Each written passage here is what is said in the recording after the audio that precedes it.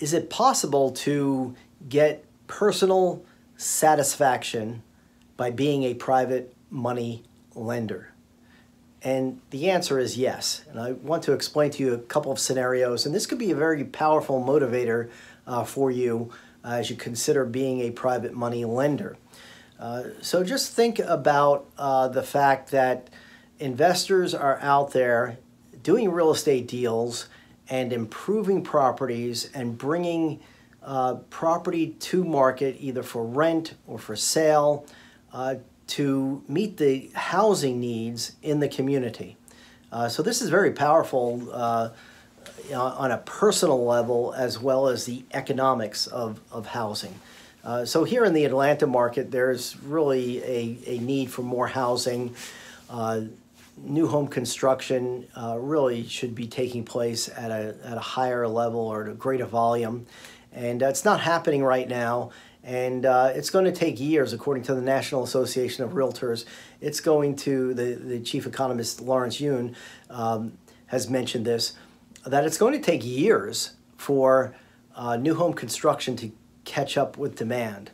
And so investors are playing a key role right now in bringing housing to market to meet the demand. And it's very frustrating for people to be out there, they're qualified to buy a home, and there's just not the not enough uh, inventory available to meet their needs. So real estate investors are out there fixing up homes, older homes. Uh, the average uh, age of uh, single-family homes in the United States is somewhere between 35 and 38 eight years, somewhere in that range, uh, and that uh, that average age of housing in the United States just keeps increasing every year. So this is putting great demand on the the need to renovate and rehabilitate older single family houses. And, and this is what I do. This is the space that I function in. And as we do that, for every project that we do, we're bringing uh, to the market a property, a house uh, that's available in like new condition for a family to buy at a price that is lower than it would cost to newly construct a similar house. And so we're uh, we're doing like a great service, providing a great service and a great opportunity for uh, new families uh, to have adequate housing, uh, to get their family started, and to raise their family and to live in an area close to where they work at a price that is economically feasible for them. So as a private money lender, you can gain great satisfaction in knowing that your money is being put to use to bring housing, adequate housing, uh, to buyers who are in desperate need of uh, good housing. And then on the, another level, as a private money lender, you can really uh, participate in the personal growth and get satisfaction of helping a an investor, a local investor, develop their career in real estate investing. For example, I know a lot of investors who are very good at what they do.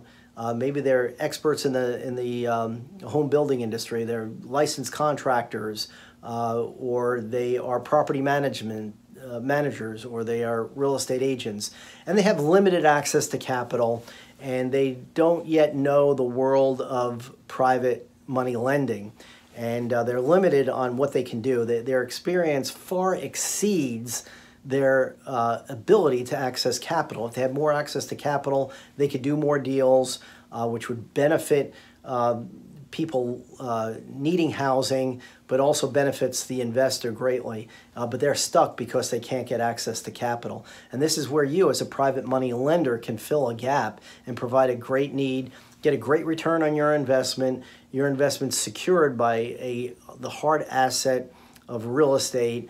And if as you develop a relationship with one or more local investors, uh, you can get the personal satisfaction of seeing uh, them grow, seeing uh, their business grow.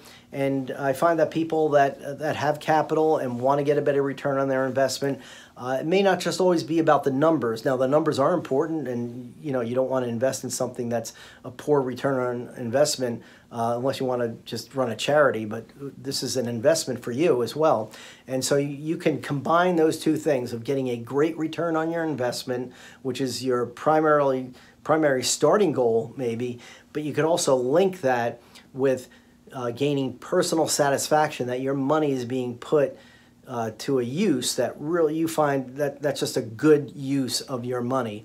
Uh, so that's a win-win scenario.